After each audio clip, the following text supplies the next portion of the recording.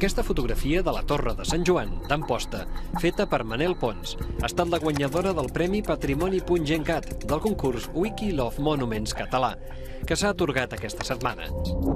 La segona millor fotografia ha estat la del Castell de Castellvell, al Bages, obra de Madora Álvarez. El concurs s'ha fet amb la intenció de proporcionar imatges a la Viquipèdia catalana i s'hi han presentat més de 8.300 fotos d'uns 2.000 monuments diferents aportades per més de 200 participants. També s'ha donat el premi a la millor foto del patrimoni andorrà, que ha estat per la de l'església de Sant Joan de Caselles, de Maria Rosa Ferrer. El concurs té una fase europea, a la qual passen els finalistes catalans i que es decidirà a Rotterdam el 9 de desembre. S'imaginen tots els taulells d'anuncis de totes les universitats catalanes units en un de sol, però virtual?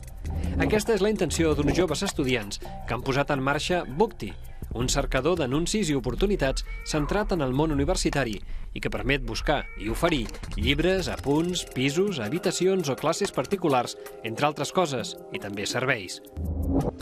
El portal, que acaba de començar, és gratuït per qualsevol que hi vulgui penjar el seu anunci. Inclou també un recull de notícies de l'àmbit universitari.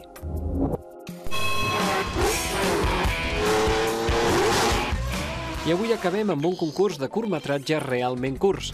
Fan només 5 segons, és a dir, gairebé passen en un vist i no vist. Està adreçat a tots els creadors d'animacions per ordinador.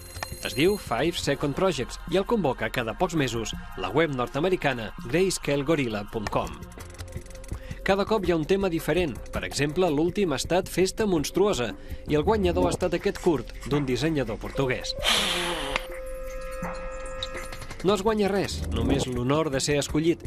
I l'únic requisit per participar és que el vídeo inclogui efectes gràfics. Totes les adreces i més informació, com sempre, al blog de l'Espai Internet, al portal 324.cat i al nostre Facebook.